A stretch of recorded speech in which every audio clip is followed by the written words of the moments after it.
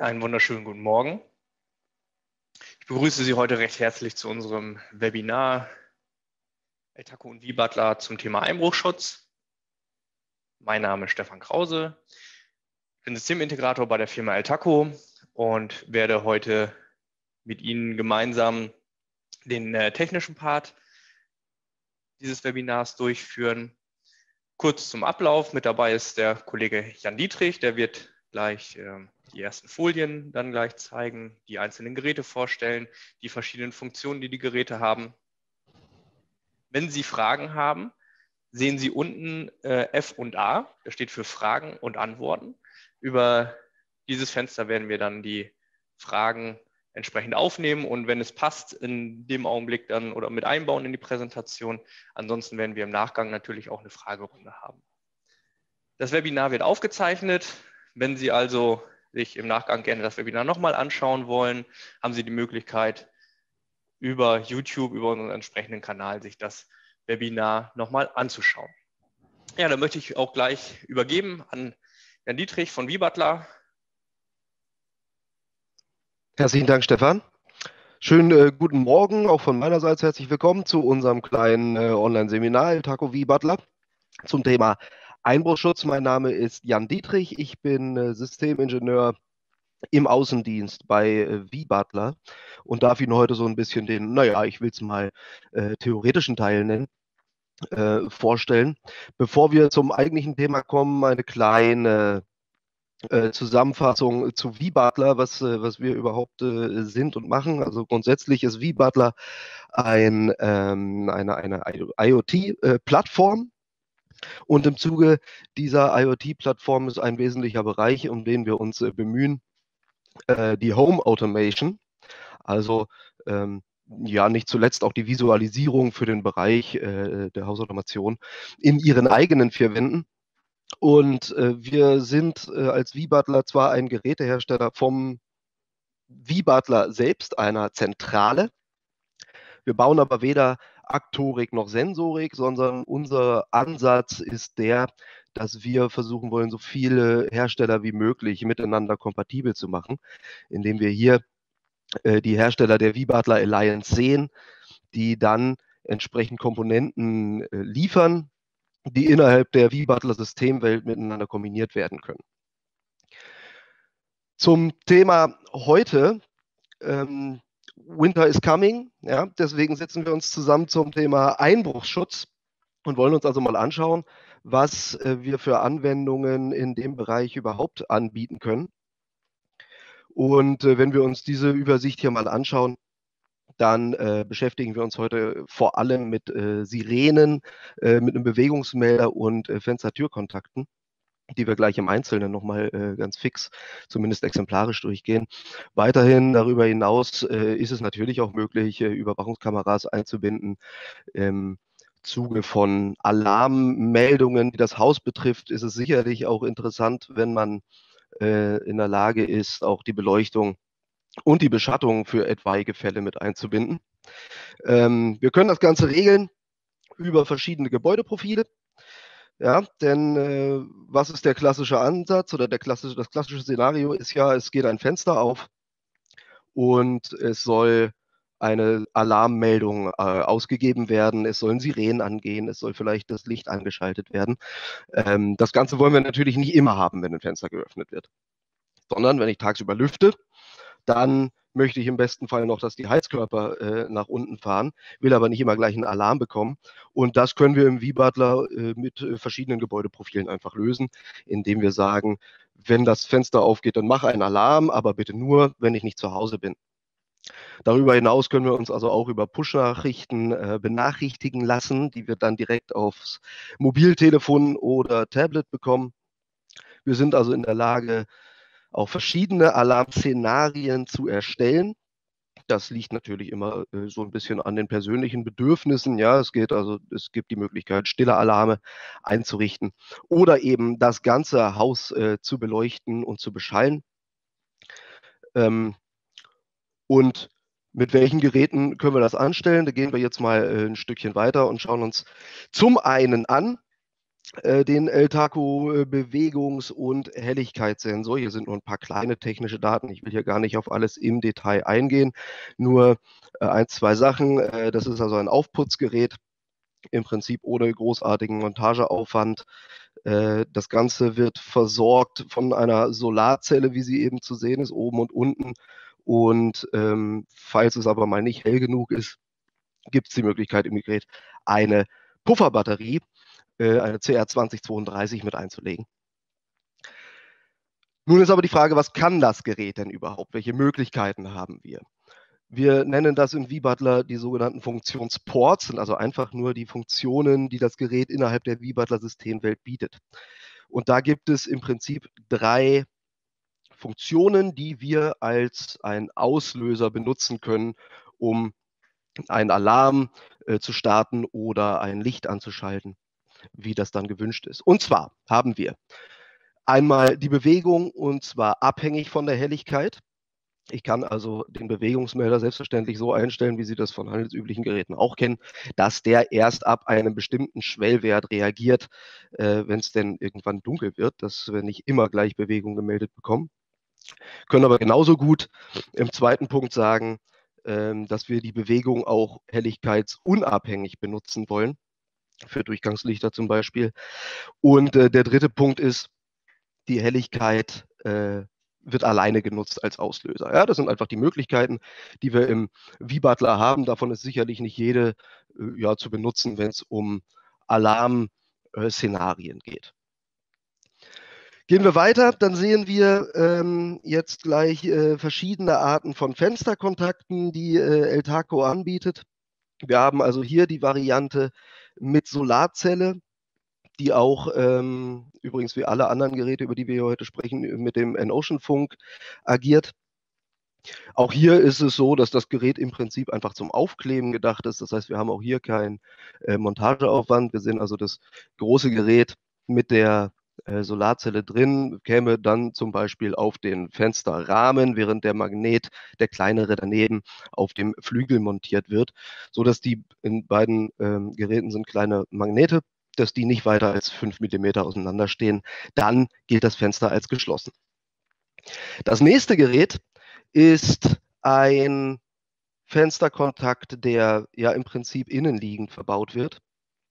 Ähm, das Ganze funktioniert dann ohne externe äh, Energieversorgung und ist deswegen äh, sicherlich noch äh, sehr interessant, weil wir hier die Möglichkeit eben haben, ähm, über den äh, ja, über den, den, den Ocean-Effekt der, des Energy, Energy Harvestings äh, zu arbeiten. Das heißt, wir werden hier nicht die, äh, oder die, die Problematik bekommen, dass wir leere Batterien haben, sondern durch äh, diesen kleinen Hebel, den Sie da oben sehen, wenn der also runtergeklickt wird, wird das, äh, wird das Telegramm ausgesendet und wenn er wieder aufgeht, wird das nächste Telegramm gesendet, das dann entsprechend für geöffnetes oder geschlossenes Fenster steht. Dann haben wir noch zwei weitere einen, den wir vorstellen wollen, wenn eben die äh, ja, Lichtzufuhr für einen bestimmten Raum vielleicht nicht groß genug ist, dass die, das Gerät mit der Solarzelle funktioniert, haben wir hier einen, der mit Batterie betrieben wird, ansonsten aber äquivalent zu dem ersten funktionierend, äh, funktioniert. Und die letzte Variante, die wir Ihnen noch gerne kurz zeigen wollen, ist eine äh, Geschichte, die äh, heißt äh, FTKB-HG in der Etaco-Welt und wird in den Fensterrahmen verschraubt und ist also dann unsichtbar im Fenster angebracht, kann also so also auch wieder nicht gesehen werden.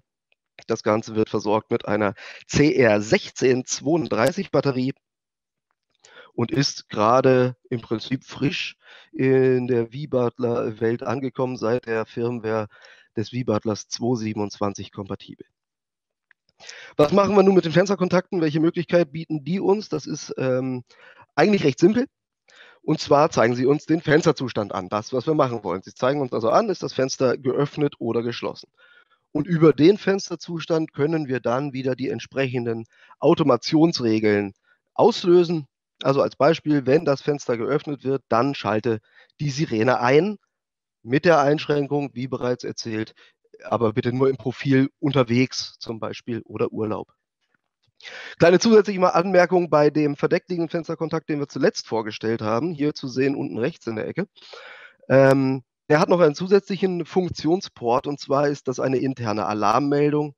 Er funktioniert im Prinzip auch, äh, ja, ich will nicht sagen autark, hat aber da die Möglichkeit, nochmal ähm, ja, über Fensterbewegungen zu agieren. Das war es im Prinzip schon äh, soweit zu den Geräten, was die Auslöseeffekte betrifft. Nun wollen wir uns noch ganz kurz angucken, was haben wir auf der anderen Seite, welche Geräte wollen wir damit also ansprechen, haben auch hier exemplarisch äh, mal zwei rausgesucht. Zum einen haben wir hier einen, äh, eine Sirene, gebaut für die Steckdose. Also auch hier kein Montageaufwand. Ich habe diesen im Prinzip Zwischenstecker, den ich einfach in meine Steckdose äh, stecke. Der macht mindestens 80 dB. Also äh, Sie können mir glauben, wenn Sie da das Ohr daneben halten, das, das, das klingelt dann schon schön. Ähm, lässt sich also wunderbar einfach einrüsten im, äh, im Gebäude, wie gesagt, an einer freien Steckdose. Wenn, Stefan, unterbrich mich, wenn das Quatsch ist, aber diese Variante gibt es, äh, meine ich, auch als Unterputzlösung. Dass genau, also, richtig. Ja, den gibt es auch als äh, Unterputzvariante, beziehungsweise sieht dann aus wie, wie ein Taster oder wie eine Blindabdeckung. Äh, und das ist dann die Innensirene im Schalterdesign. Genau, dass sie dann auch gar nicht unbedingt großartig auffällt. Das, äh, was wir außerdem zeigen wollen und was äh, auch relativ neu in der V-Butler-Systemwelt ist, ist eine Außensirene, die wir also mit einsprechen können. Äh, einsprechen nicht natürlich, wenn wir sie einbinden können. Sie macht äh, auch hier Alarm, ja, mindestens 85 dB äh, steht. Sie macht dann eben auch äh, das äh, Typische, was Sirenen so machen. Also sie blinkt rum unten im, im zu sehenden roten Feld. Ja. Äh, wird gespeist obendrauf durch die äh, Solarpaneele. Ja, das heißt also, sie wird außen angebracht. Äh, wenn Sie sie anbringen, schauen Sie, dass Sie es an einer Stelle machen, die entsprechend ein wenig, äh, ja, also dass, es, dass sie jetzt nicht von vier Seiten abgedeckt ist und in der Kammer hängt, dann hat sie es ein bisschen schwer mit dem Licht. Ansonsten lässt sie sich wunderbar äh, draußen anbringen. Und äh, wir haben eben so auch wieder die Möglichkeit oder die, die, die, den Vorteil, dass wir keine Steuerleitungen dazu bringen müssen. So, was bieten uns diese Sirenen ähm, für Funktionen? Wir haben, wir müssen hier ein bisschen äh, differenzieren. Es gibt zum einen natürlich das akustische Signal, was sie ausgeben sollen. Zum anderen äh, sind diese Geräte aber nicht permanent in Alarmbereitschaft, damit es eben nicht zu versehentlichen Fehlalarm kommt. Die gilt es ja zu vermeiden. Das heißt, wir können über eine Funktion ähm, das Gerät zunächst in Alarmbereitschaft versetzen dass dann bei geöffnetem Fenster der Alarm zugeht. Das sieht, wird uns Stefan äh, Krause gleich äh, zeigen, wie das in der App genau aussieht. Ähm, wir werden das äh, lösen über Profile, dass wir also dieser Sirene sagen, wenn wir das Profil unterwegs aktivieren, dann schalte bitte die Sirene in Alarmbereitschaft. Die Außensirene hat außerdem äh, die Funktion, dass sie uns also Fehlermeldungen ausgibt. Das heißt, wenn es einen, ähm, einen Abbruch gibt, einen Kommunikationsabbruch zwischen der Sirene und dem V-Butler, werden wir darüber informiert. Das äh, ist zum Beispiel passiert eben auch durch äh, internen Manipulationsalarm der Außensirene. Gut, das im Prinzip soweit äh, zu, den, äh, zu den Geräten, die wir uns heute im Detail angucken äh, wollen. Wie gesagt, das ist nur ein kleiner Abriss von dem, was außerdem möglich ist, alles exemplarisch. Schauen wir uns jetzt aber in der App an, wie wir die Geräte anlernen und wie wir entsprechend Automationsregeln dazu anlegen. Stefan.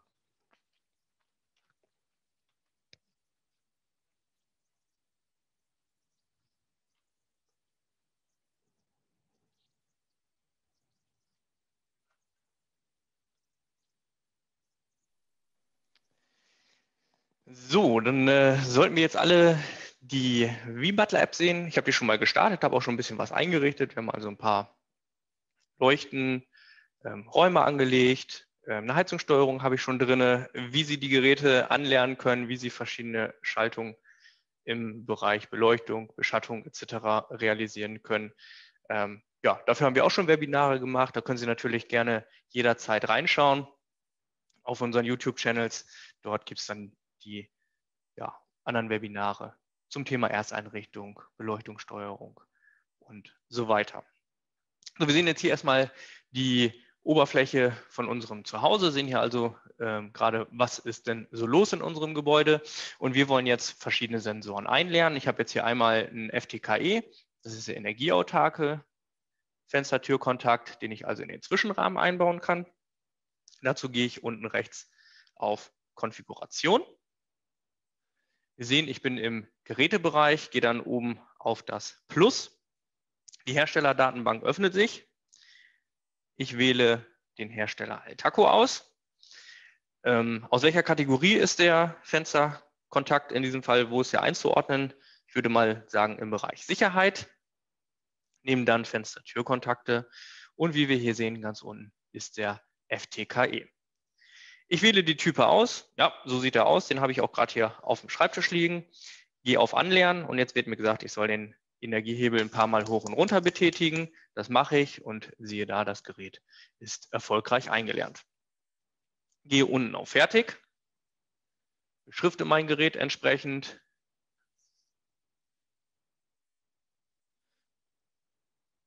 Ich sage jetzt, das ist zum Beispiel die Fensterüberwachung im Bereich Wohnzimmer, Fenster Wohnen. Kann es natürlich auch gleich einsortieren in den entsprechenden Raum. Das machen wir auch und packe ihn hier in mein Wohnzimmer. So, jetzt habe ich erstmal das Gerät entsprechend hinzugefügt. Wir sehen das hier oben mit dem grünen Fähnchen. Wir sehen, dass das Fenster jetzt geschlossen ist. Das sehen Sie an dem orangen Ring, beziehungsweise wenn ich den Fensterkontakt jetzt öffne, dass das Fenster geöffnet ist. Wenn wir einmal in die Übersicht schauen, in unserem Zuhause, dann sehen wir auch gleich oben in dem Bereich unter Smart Home in dem ersten großen Fenster, dass ein Fenster zurzeit geöffnet ist. Wenn ich den Fensterkontakt jetzt schließe, dann sehe ich auch, dass alle Fenster in meinem Objekt entsprechend geschlossen sind. So, jetzt habe ich erstmal nur eine Überwachung des Fensters und möchte natürlich jetzt ähm, mir auch irgendwo signalisieren, ich mache das Ganze jetzt mal mit einer Außensirene, dass wenn mein Fenster geöffnet wird, je nachdem, welches Profil wir dann gleich haben, ähm, soll die Sirene losgehen.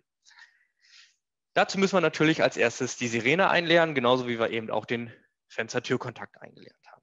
Wir gehen unten wieder auf Konfiguration, auf das Plus, wählen den Hersteller El Taco aus und sagen wieder in der Kategorie Sicherheit, aber jetzt Signalgeber. So, hier haben wir unsere beiden Signalgeber, einmal die Funkaußensirene und den Zwischenstecker-Signalgeber. Wir nehmen die Außensirene, so sieht die Sirene aus. Das haben wir eben auch in der Präsentation schon gesehen. Gehen unten auf Anlernen.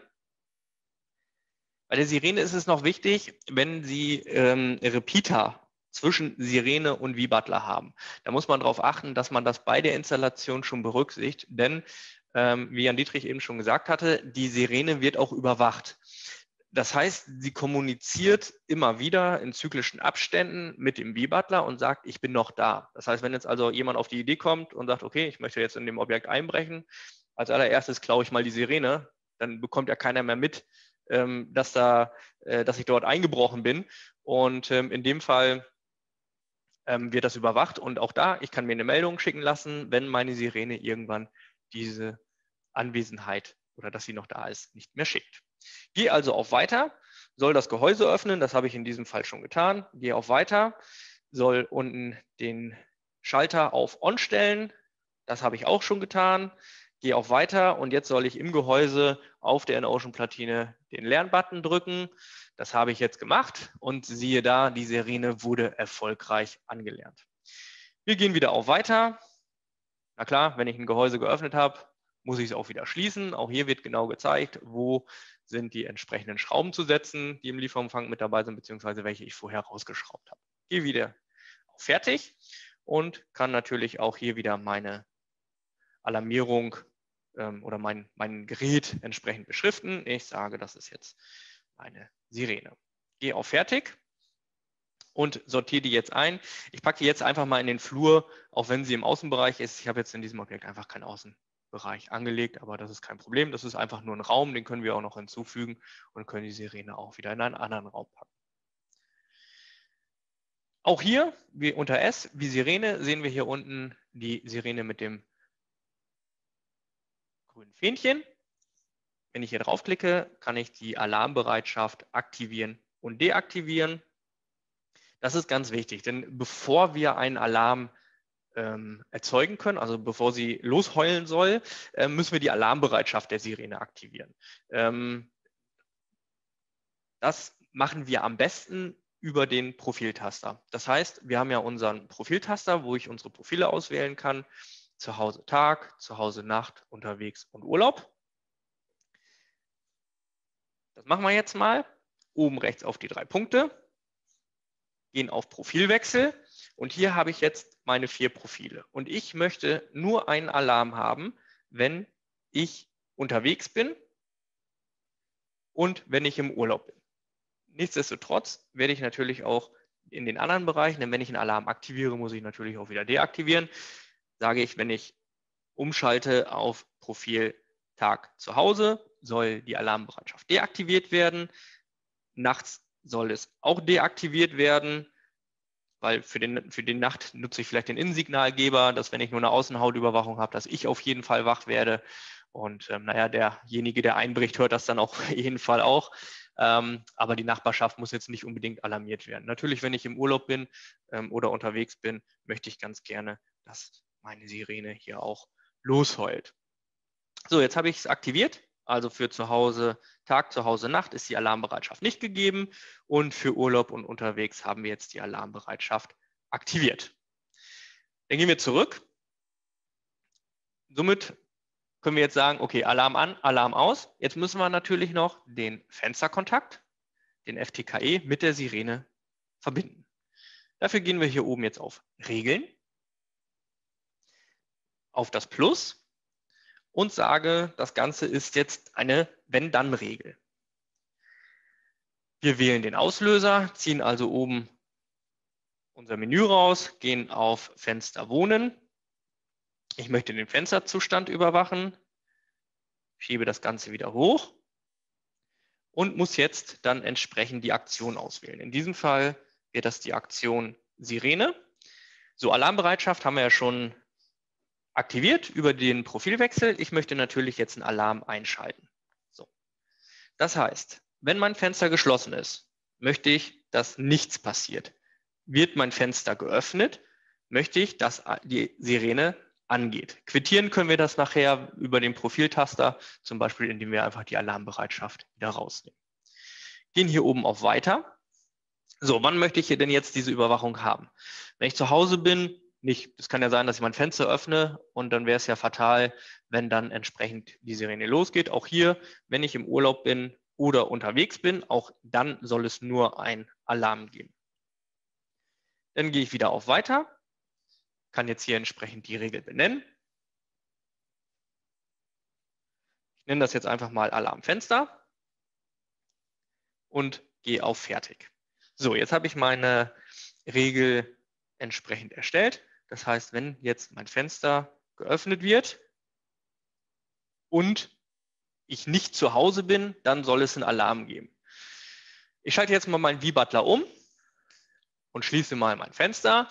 Dazu gehe ich jetzt auf mein Profiltaster, sage Profil unterwegs aktiviert. Ähm, ich öffne jetzt das Fenster und jetzt gibt es einen entsprechenden Alarm und wir haben hier den Signalgeber. Ich ziehe ihn eben ab und jetzt haben wir einen Alarm. So, wenn ich mein Fenster wieder schließe, passiert nichts, denn das haben wir in der Regel ja nicht hinterlegt. Und wenn ich jetzt auf Zuhause Tag wechsle, dann ist die Sirene auch entsprechend wieder deaktiviert. Das heißt, ähm, sie ist nicht mehr in der Alarmbereitschaft. Und wenn ich jetzt mein Fenster öffne und schließe, dann habe ich die ganz normale Funktion wieder, zum Beispiel mit meiner Heizungssteuerung oder ähnliches. Ja, jetzt bin ich unterwegs. Ähm, wunderbar, meine Sirene ähm, alarmiert, die, alle Nachbarn wissen Bescheid. Jetzt wüsste ich natürlich auch gerne selber Bescheid, ähm, wenn jemand bei mir zu Hause eingebrochen ist. Wie können wir das realisieren? Über eine Push-Nachricht zum Beispiel. Dazu gehen wir wieder unten rechts auf Konfiguration. Wir sind im Bereich Regel. Ich gehe nochmal auf das Plus. Es ist wieder eine Wenn-Dann-Funktion. Der Auslöser ist in diesem Fall auch wieder mein Fenster im Wohnzimmer. Und wähle dann hier unten zum Beispiel mein iPad aus. Ich möchte gerne eine Push-Nachricht auf mein iPad bekommen. Kann jetzt auch alle weiteren Geräte nochmal mit anhaken, dass wenn alle benachrichtigt werden sollen, weil mein iPad habe ich jetzt nicht unbedingt griffbereit, sondern zum Beispiel auch mein, meine beiden Smartphones, die ich noch habe. So, wenn mein Handy, äh, wenn meine, mein Fenster, nicht mein Handy, das kann ich nicht schließen, wenn mein Fenster also geschlossen ist, soll nichts passieren. Aber wenn mein Fenster geöffnet wird, möchte ich gerne eine Push-Nachricht bekommen und gebe dieser Push-Nachricht mit und sage Fenster wohnen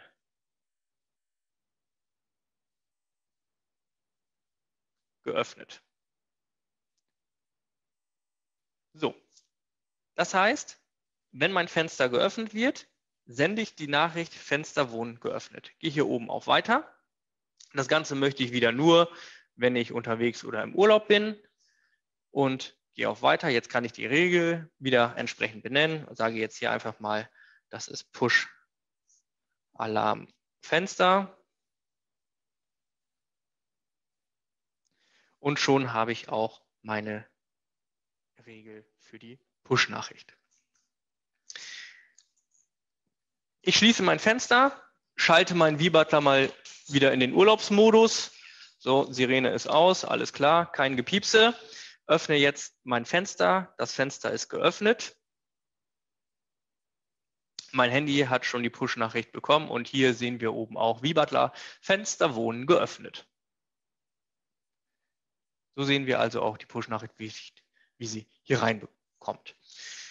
Ja, jetzt haben wir im Prinzip eine Außenhautüberwachung realisiert. Eine Außenhautüberwachung ist also immer dann, wenn ein Fenster aufgehebelt wird oder ähnliches, dann soll es entsprechend einen Alarm geben.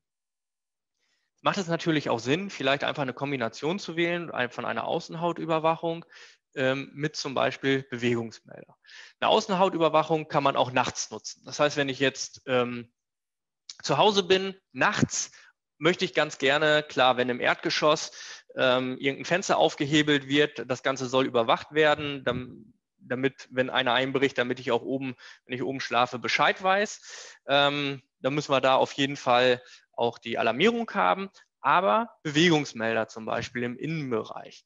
Ähm, jetzt kann es ja sein, ich stehe nachts mal auf, möchte was trinken, gehe runter in die Küche, ähm, hole mir ein Glas Wasser, laufe durch den Bewegungsmelder und habe einen Alarm. Das ist dann natürlich nicht so schön.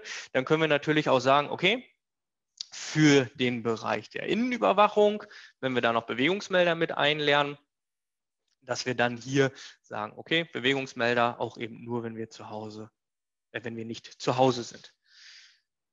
Im Prinzip genauso zu bauen. Ich lerne trotzdem nochmal eben Bewegungsmelder ein, gehe wieder unten auf Konfiguration, Wechsel auf Geräte, gehe oben auf das Plus, suche mir wieder den Hersteller El Taco raus, und sage jetzt hier auch im Bereich Sicherheit, oben Bewegungsmelder.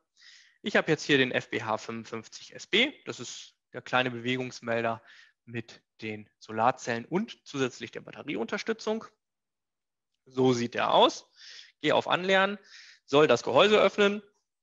Das mache ich mal eben. Dann gehe, wenn ich das gemacht habe, gehe ich auf Weiter, kontrolliere, ob der Jumper richtig gesteckt ist, denn dieser Bewegungsmelder kann in mehreren Funktionsarten betrieben werden. Der Jumper ist in diesem Fall bei mir gesteckt, also alles so, wie der V-Butler es gerne hätte. Gehe auf Weiter, soll jetzt den Lernbutton drücken. Das habe ich gemacht und siehe da, unser Bewegungsmelder wurde erfolgreich eingelernt. Auch hier, ich gebe dem Bewegungsmelder wieder einen Namen. Ich sage jetzt einfach mal BWM Flur. Fertig sortiere ihn direkt in meinen Flur ein und kann dann im Flur meine Bewegung erfassen. Wir sehen jetzt hier, die Bewegung ist zurzeit aktiv. Jetzt kann ich diesen Bewegungsmelder nutzen, auf der einen Seite, um mein Flurlicht natürlich einzuschalten, über den V-Butler oder direkt, und auf der anderen Seite, um ihn als Alarmsensor zu nutzen. Also Sie merken, wir haben hier Sensoren, ähm, die Fensterkontakte, die wir eben nicht nur für Alarm nutzen können, sondern auch für den Bereich Heizungsregelung, ähm, einfache Zustandsüberwachung, Lüftungssteuerung und so weiter, ähm, dass wir also das Schöne eben haben, dass wir einen Sensor brauchen und ganz viele verschiedene Szenarien damit abdecken können. Genauso natürlich auch mit dem Bewegungsmelder. Auf der einen Seite ähm, sendet er uns die Bewegung natürlich und wir verarbeiten sie auf der einen Seite für unsere Beleuchtung, auf der anderen Seite für die Alarmgeschichte und so weiter. Und so brauchen Sie nicht zig verschiedene Sensoren für verschiedene Anwendungen, sondern können alles mit dem einen entsprechenden Sensor abfrühstücken. So, ich habe hier äh, noch eine Frage, ob ähm, alle Fenstersensoren mit der Sirene verbunden werden. Ähm, oder kann man die Sirene, kann man auch die Sirene mit Push-Nachrichten? Ähm, also mh, die, die Fenstersensoren hätte ich ja eben alle gleichzeitig auswählen können. Also als ich die Regel erstellt habe, ich habe jetzt ja nur einen Fenstersensor mit reingenommen, ich hätte also alle Fenstersensoren dann entsprechend verbinden können.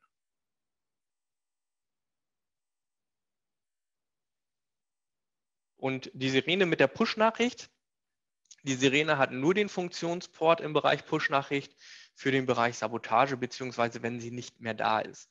Das heißt, ähm, wenn die Sirene ja, äh, demontiert worden ist, ähm, kaputt gehauen worden ist oder sonst irgendwas, dann kann ich mir eine Push-Nachricht schicken, aber nicht in dem Augenblick, wenn die Sirene auslöst, dann würde ich einfach eine zweite Regel erstellen und mir dann eine Push-Nachricht schicken. Ich hoffe, die Frage ist so weit beantwortet.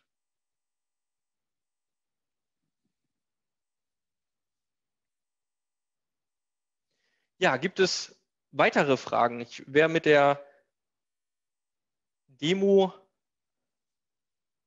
soweit durch. Wir haben also die verschiedenen Funktionen von unserem Kontakt als Alarmgeber, ähm, den Alarmgeber eingebunden mit Sirene und so weiter. Und für Fragen. Ich hätte noch mal bitte, du könntest vielleicht äh, hier die, ähm, wenn du nochmal in die App gehst, wenn das noch möglich ist. Natürlich. Ähm, die Sirene auch nochmal quasi anzeigen lassen in der Gesamtübersicht des Gebäudes. Dass also da auch immer gleich äh, zu sehen ist, ist alles okay oder äh, ist entsprechend irgendwo ein Alarm ausgelöst worden. So, ich schalte nochmal eben auf die App um. Dauert einen kleinen Augenblick. Zack, da ist sie. So, dann habe ich jetzt hier in der Gesamtübersicht, gehe nochmal zurück, das war vielleicht einfach ein bisschen schnell. Hier oben neben, äh, rechts neben Smartphone äh, Home habe ich meine drei Striche, kann hier also mein Menü anpassen, was ich hier auf dem ersten Blick angezeigt haben möchte.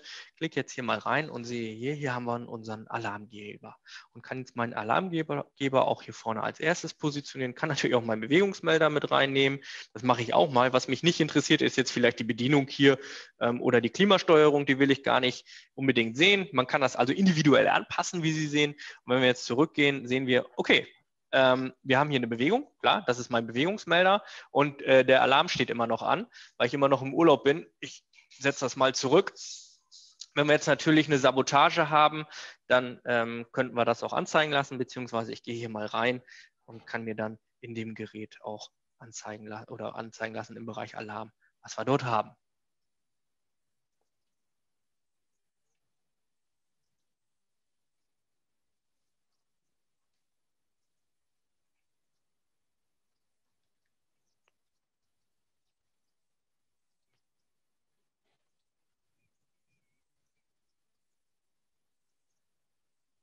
Gibt es weitere Fragen?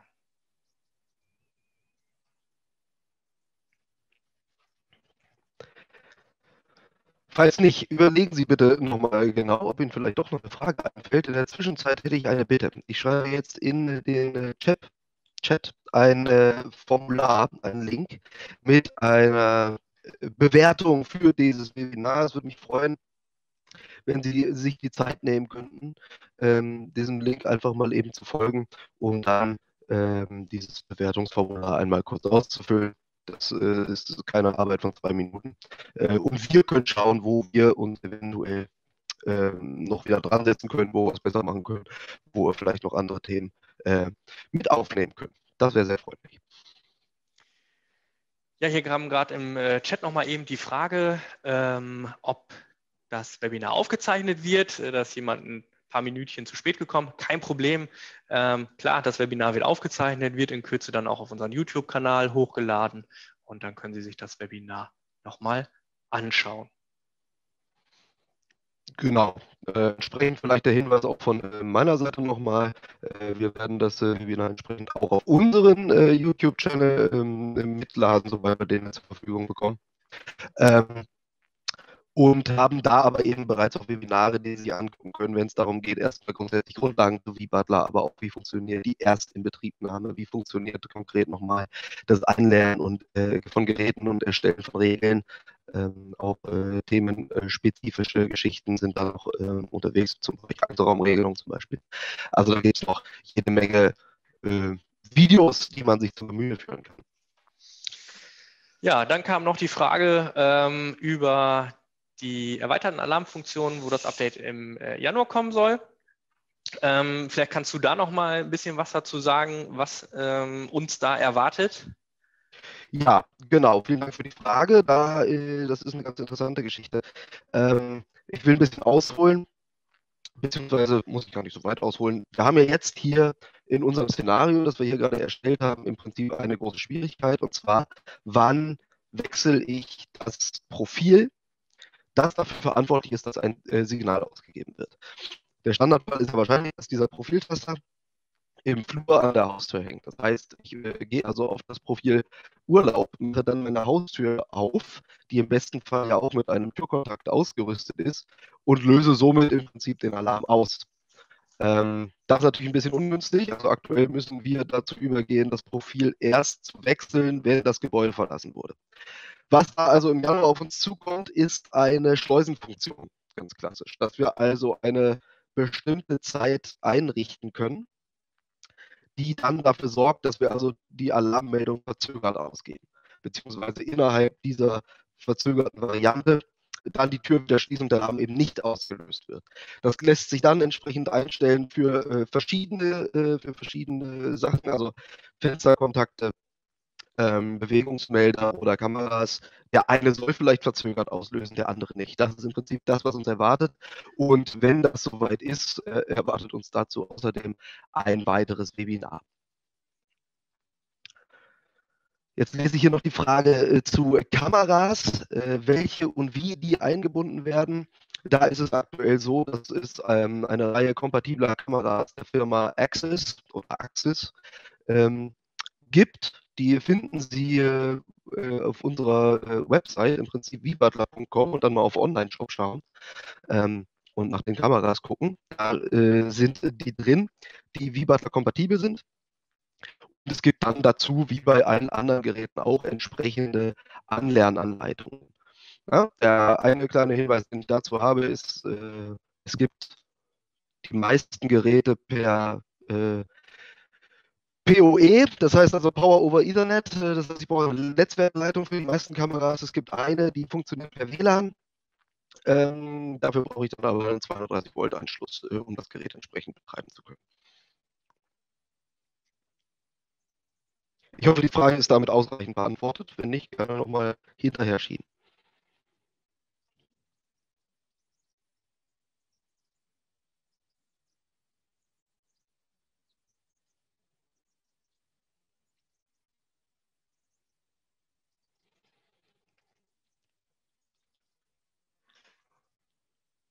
So, hier im Chat nochmal, brauche ich immer einen Bewegungsmelder für die Kamera? Äh, nein. Ähm, also erstens brauchen ist sowieso immer schwierig, die Kamera, aber grundsätzlich verfügt natürlich selbst über einen Bewegungsmelder, der dann entsprechend auch als Funktion im V-Butler für sämtliche anderen Geschichten genutzt werden kann. Ja, wenn keine weiteren Fragen sind, ähm, bedanke ich mich recht herzlich oder wir bedanken uns für die Teilnahme. Wenn Sie im Nachgang Fragen haben, schreiben Sie uns gerne eine Mail, entweder an krause.taco.de oder an j.dietrich.wiebutler.com.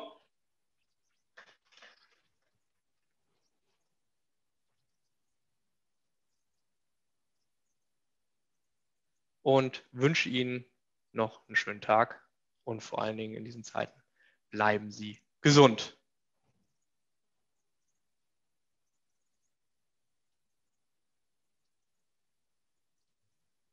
Vielen Dank auch von mir. Alles Gute.